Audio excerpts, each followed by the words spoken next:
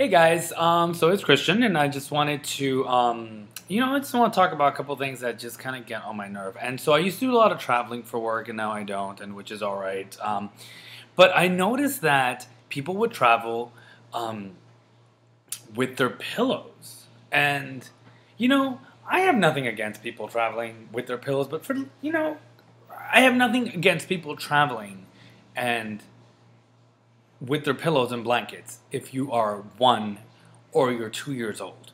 Listen, if you're in college and you're rocking, walking around on an airport with a pillow underneath your arm and a, you know, a blanket, needless to say, you look like an ass. I mean, for the love of whoever is out there, that is just absolutely like, I can't understand it. And it's like you're getting on a plane Granted, flying is no longer this amazing thing like on Pan Am where you know people would get dressed up and you know you wear your fancy hats and uh, okay, I get it. It's like you know literally some airlines are like greyhounds in the sky.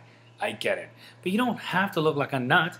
I mean, take a shower. You're gonna be on a plane. You're gonna be on in a small little confined area with strangers for at least you know, a good hour. So, oh my God, I just, it's beyond me. Like, it's just one of those things.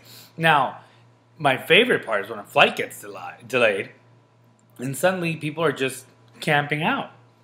You know, just camping out on, you know, section C or terminal A and they're just lying down there acting like, you know, have some dignity sit up for the love of Christ. I mean, if it's a long delay, I get it. But if your flight's late 10 minutes, you don't have to throw yourself on the ground like you're a cat, like a dog. Oh, I'm just going to lay down here because I've got nothing else to do.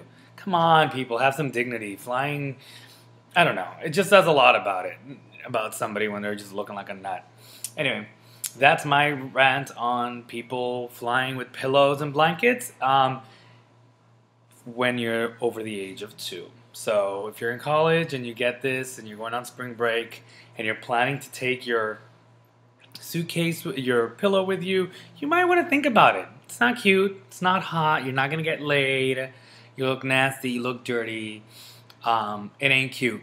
Um, especially for you guys or you girls, that ain't cute. Okay? I gotta just say that. Peace.